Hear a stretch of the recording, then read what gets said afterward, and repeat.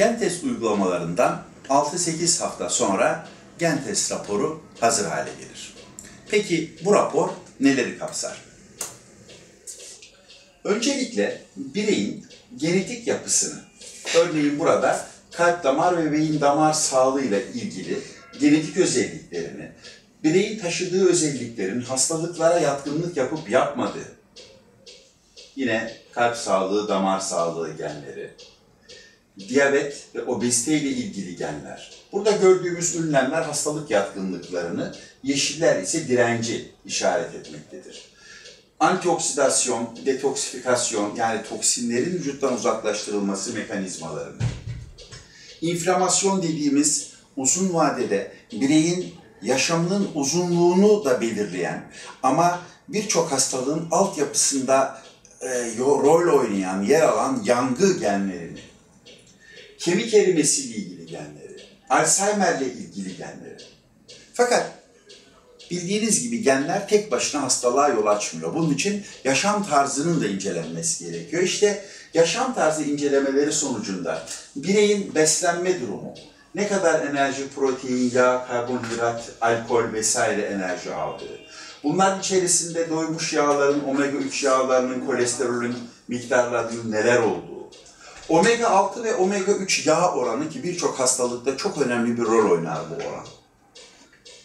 Bireyin toplam karbonhidrat alımı, bunun içindeki basit ve kompleks karbonhidrat oranları, vitaminlerin birey tarafından ne kadar tüketildiği. Örneğin burada birey 361 mikrogram folik asit kullanıyormuş ama en az 800, en fazla 1600 kullanması gerekiyor. Ama kendisi 361 mikrogram tüketiyor. Peki biz bunun en az 800, en az en çok 1600 olduğunu neye göre söylüyoruz? Genetik yapısına göre, yaşına ve cinsiyetine göre. Oysa ki genel geçer olarak herkese 400 mikrogram folik asit verilir. Ama burada gördüğümüz gibi bu kişinin ihtiyacı normalin iki katı. İşte burada gördüğümüz bütün değerler o bireye özgü değerlerdir. Bakın D vitamininde önemli ölçüde bir açık var. Bunun gibi kalsiyumunda, fosforu, magnezyumu normalmiş. Potasyumu düşük, demiri çinkosu normal. Meyve sebze tüketimi, alyum sebzeleri, brasika sebzeleri, soya tüketimi, kafein tüketimi. Bireyin vücut yapısının değerlendirilmesi, vücudun yağ oranının değerlendirilmesi. Bireyin fiziksel aktivite ve egzersiz durumunun 8 başlık altında değerlendirilmesi.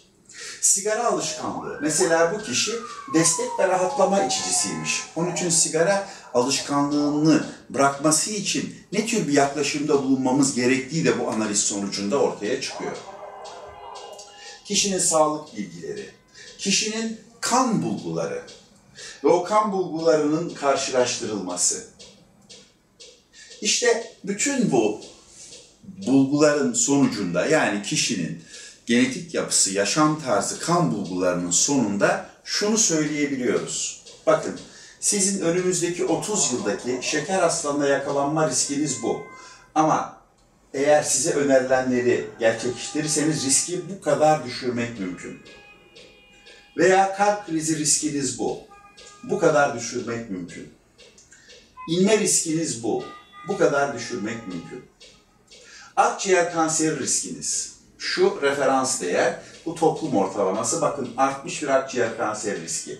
Buraya kadar düşürebiliriz. Meme kanseri riskinizi bu kadar düşürebiliriz. Kolon kanseri riskinizi bu kadar düşürebiliriz. Mide kanseri riskinizi bu kadar düşürebiliriz. Peki bunları, osteoporoz riskini, peki bunları yapmak için nasıl bir tıbbi takip planı yapacağız o kişiye? O kişiye nasıl bir kilo verdirme programı uygulayacağız?